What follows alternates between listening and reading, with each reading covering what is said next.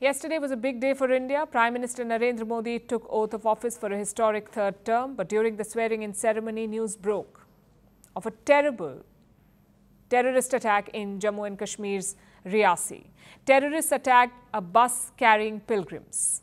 They opened fire at the bus. The bus lost control and fell into a gorge. Nine people were killed, 30 others were injured. Pakistan-backed TRF has claimed responsibility for this attack. It is a terrorist group linked to the Lashkar-e-Taiba and they've said that there will be more such attacks.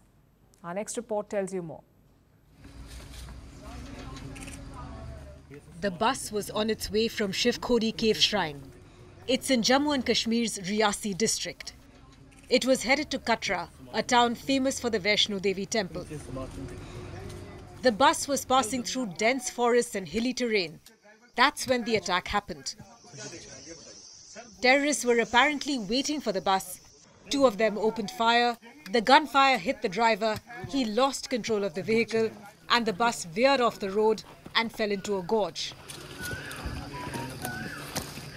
बस हमारी जो है थोड़ी सी आगे जाकर खाई में पलट गई पाँच छः राउंड गिरने के बाद एक बड़ा पत्थर में जो है बस फंस गया और रुक गया वहाँ और सभी लोग जो है छोटी लोग हैं उसमें कोई पड़ा था बेसुध कोई इधर कोई बाहर कोई बस में और सभी लोगों को एकदम जो है चोट लगा हुआ था और फायर होता रहा तब भी जो है दस पंद्रह मिनट तक और फायर हुआ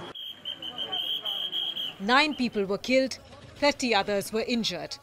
All of them were pilgrims from Uttar Pradesh, Delhi and Rajasthan.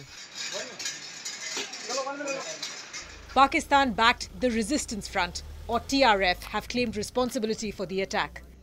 It is an offshoot of the Lashkar-e-Taiba. The terror group was founded in 2019 and since then it has been behind multiple attacks.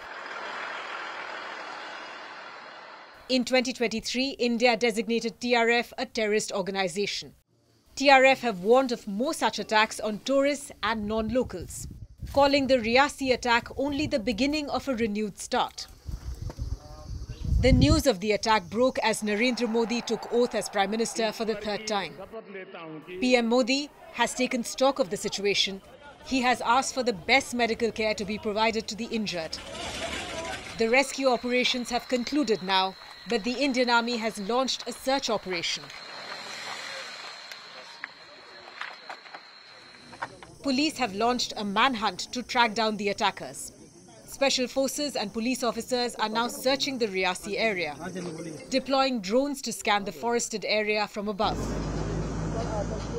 इस पूरे operation के लिए drones जो हैं वो लगाए गए हैं साथ ही साथ हमने पाँच टीम्स बनाई हैं जो कि जितने भी एडजॉइनिंग फॉरेस्टेड एरिया हैं उनको कोम करते हुए along with the VDG members जो हमारे हैं उनके साथ हम लोग कोमिंग ऑपरेशन करते हुए यहाँ यहीं पे आके सारे के सारे कंक्लूड करेंगे. There was no specific input regarding this site हम जर्नली हमने हाई अलर्ट रखा हुआ था. Both the shrines were on high alert वहाँ की सारी नफरी जो है वो भी अलर्ट पे थी. ये आप देख सकते हैं कि ये बिल्कुल साथ में ज्वाइनिंग रजौरी है. This area belongs to Rajouri police. ये नीचे वाला जो पार्ट है ये रियासी को बिलोंग करता है. ये सड़क जो है वो रियासी को बिलोंग करती है. सो so, उस तरीके से कहा जाए कि बिल्कुल बॉर्डर पे उन्होंने आके स्ट्राइक किया है. अब we are still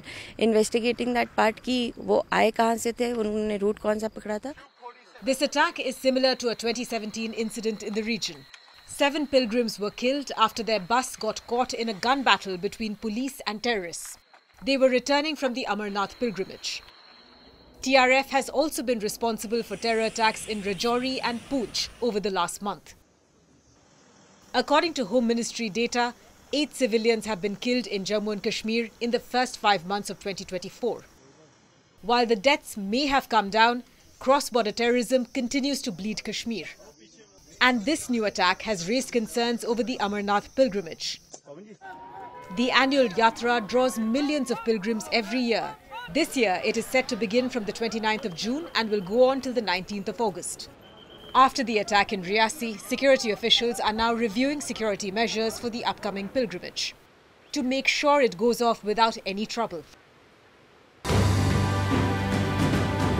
Firstpost reports from the world's second largest continent. Hello, I'm Alison Lagrange. A very warm welcome from Durban, South Africa. We get you the news and the newsmakers from Africa. From elections to climate change to innovations and opportunities. As the world's attention shifts, we report from Africa, the heart of the global south. Join me every weekday live on Firstpost.